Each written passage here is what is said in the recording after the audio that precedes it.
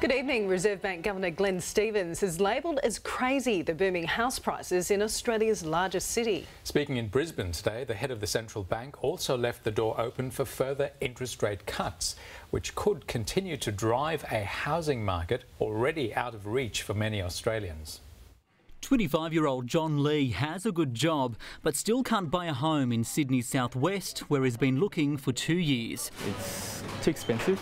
He's one of seven children to parents who've been renting most of their lives. On top of just studying pharmacy for say four years and whatnot, we've still got a we've got HECS bills to pay. Scratching for a deposit to enter a hot Sydney market is proving near impossible, something which even the Reserve Bank governor is worried about. Yes, I'm very concerned about Sydney. I, I think some of what's happening is crazy. Still, he's left the door open for another interest rate cut. We remain open to the, fur- the, the possibility of further easing if, on balance, that would be beneficial for sustainable growth. which could further stimulate the sector. We've been taking on too much more debt than a generation or so ago, but whichever way you cut it, Australian housing is very, very expensive. One of the problems is that wages aren't growing as quickly as house prices. And while estimates vary, a recent report claimed that it would take six and a half times the average annual income to afford a home in Australia, but that number varies depending on where you live.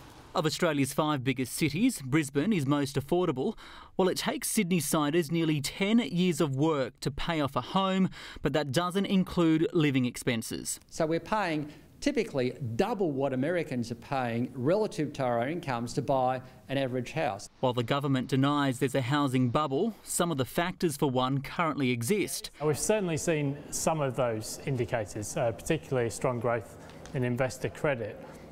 Uh, the deterioration in lending standards not so much, and in fact, at the moment, APRA is trying to wi- wind that back. An increase in housing supply may, over time, be a solution to rising prices. If that occurs, you get more competition out there amongst the suppliers, and prices over time will come down. Longer term, however, Australians may need to move into regional areas much like the US. They've got lots of cities with a million people in them or less, whereas we've just concentrated ourselves in very expensive cities. An unwanted option for some. I've had um, thoughts about going to uh, rural to practice, and um, you know it would be a bit easier out there, I guess. But the, uh, all my family's here in Sydney.